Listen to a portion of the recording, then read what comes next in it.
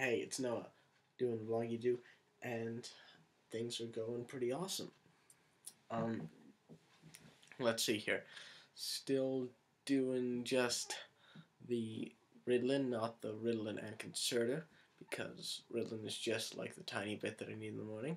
Focus has been very good. School is really fun today, actually, because uh, we are doing the CSTs, which are the um, high school exit exams. And high school exit exam takes up the first half of the day, which is awesome. And I only have one more period after lunch, which is physics. And what's great in physics is that we started with magnets today, and magnets are my thing. I'll have to do another video about magnets. But, um, I had a lot of fun today. Went to the dermatologist, which is why I kind of look like crap in the face. yeah, kind of look like crap. But at least hair looks cool. Hair looks cool. Uh, can't effing talk. but um, also today on feet I had these, which are the Vans Skate High Full Checker.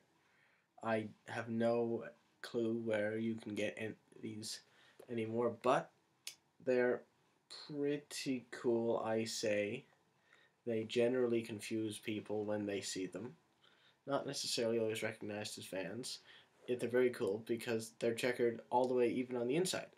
I mean, look at that. If you can, yep. You see, you can barely see the word Vans in there. It's right in there. Yep. Really dark. But solidly checkered all the way through. These are size 9 that I wear. And those are my shoes.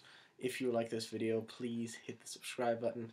If you think that there's something interesting that I didn't cover, or you know what these are called, what these are called, and where other people can find them, please leave a comment. If you have any questions for me, also leave a comment. If you really like this video, please like it, and if it's one of your favorites, please favorite it.